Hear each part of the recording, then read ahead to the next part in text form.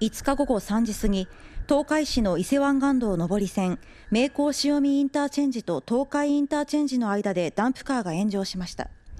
消防車5台が出動し消火にあたり火はおよそ2時間後に消し止められました。ダンプカーは57歳の男性が運転していましたが怪我はありませんでした。この火事で橋を吊るワイヤーが損傷し安全確認が続いていて伊勢湾岸道上りは名港潮見インターと東海インターの間が現在も通行止めになっています。ダンプカーは燃料タンク部分が激しく燃えていたということで警察と消防が詳しい出火原因を調べています。